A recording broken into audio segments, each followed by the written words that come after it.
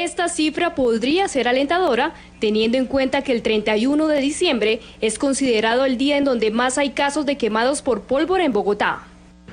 Hasta el momento no tenemos recibido reporte de pacientes quemados en, atendidos en las instituciones públicas y privadas del distrito.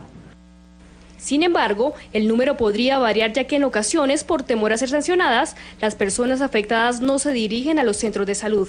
Esperaríamos el día de hoy y la mañana del 2 para que podamos dar un parte satisfactorio a la comunidad bogotana y a todo el país. La temporada de fin de año alcanzó un alto número de casos de este tipo.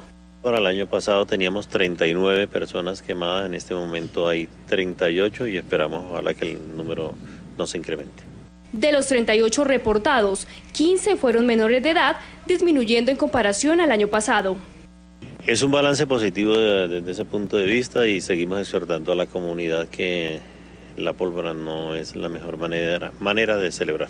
En Pontibón, Ciudad Bolívar, Kennedy y San Cristóbal fueron las localidades en donde más hubo quemados con pólvora.